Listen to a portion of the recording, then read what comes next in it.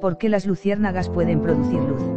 Hola, antes de empezar, te invito a que me sigas y juntos exploraremos algunos porqués cotidianos.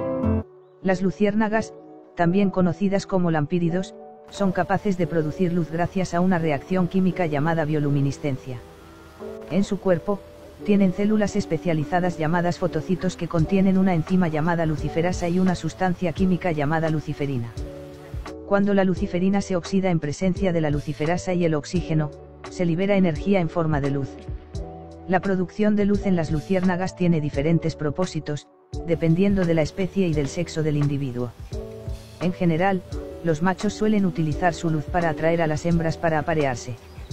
Cada especie de luciérnaga tiene un patrón de destellos específico que le permite identificarse a sí mismo y atraer a individuos de su propia especie. También hay algunas especies de luciérnagas que utilizan su luz para disuadir a los depredadores, ya que algunos de los compuestos químicos que producen la luz pueden ser tóxicos o desagradables al sabor. En resumen, las luciérnagas pueden producir luz gracias a una reacción química específica en su cuerpo, que les sirve para diversas funciones en su entorno natural. Espero contar contigo en los vídeos siguientes, y recuerda que responder si alguna vez te preguntan.